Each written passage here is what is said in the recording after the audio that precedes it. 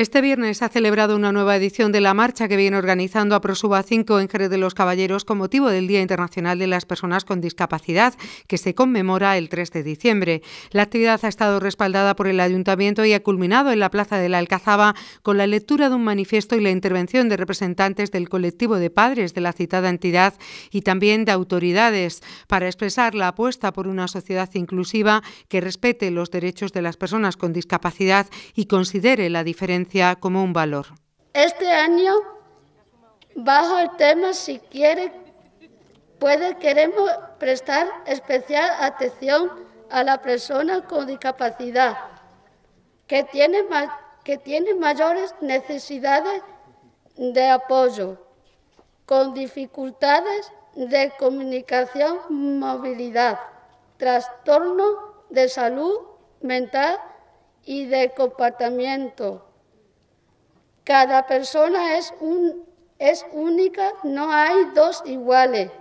Cada uno tenemos nuestra propia biografía, manera de relacionarnos, nuestro propio sueño y prioridades.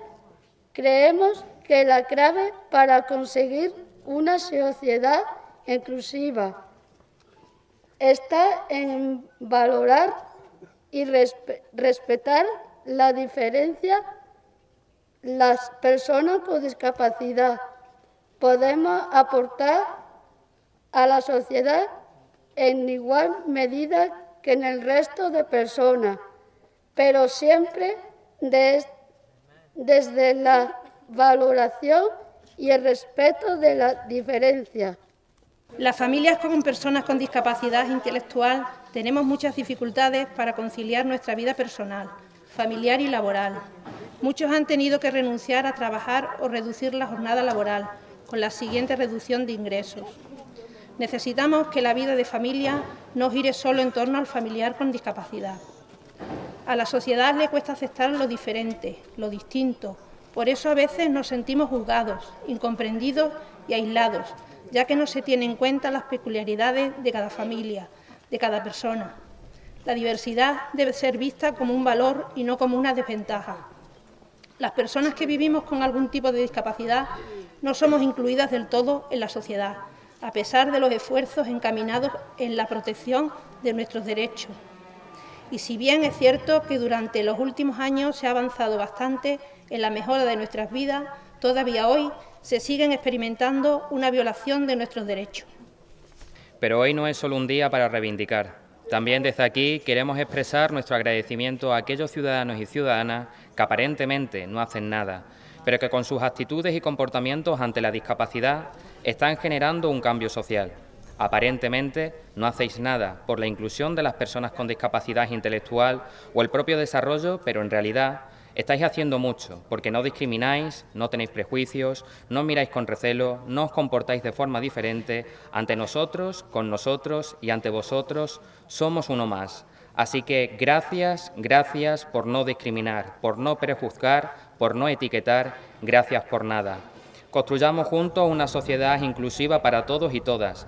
Que lo hagamos sirva para que la vida de cada persona con discapacidad intelectual o del desarrollo, así como la vida de nuestros familiares, sea cada día mejor, más plena, en definitivamente más feliz. Gracias por todo, gracias por nada. El Colegio de Educación Especial Nuestra Señora de Aguasantas también ha celebrado hoy una jornada dirigida a la participación de alumnos de otros centros educativos para invitarles a ponerse en la piel de las personas con discapacidad y a conocer las barreras y limitaciones con las que conviven en su día a día. Los propios alumnos del Colegio Nuestra Señora de Aguasantas les han servido de guía en un itinerario de actividades centradas en el uso de los sentidos y con las que han puesto de relieve su superación y sus capacidades, defendiendo con ello la normalización de las personas personas con discapacidad. Vamos, Diego, yo te acompaño. Venga, venga, vamos. Cuidado, cuidado con la calle. ¿Vale? Mirad. Vemos aquí, en esta carolina que tenemos aquí, si veis lo que he generado, los puntitos. ¿Vale? Cada palabra con, la, con los puntitos. Lápiz. ¿Vale? Más lápiz. Con la mano, a ver qué hay. Pero no lo puedo sacar. Es fila, no es.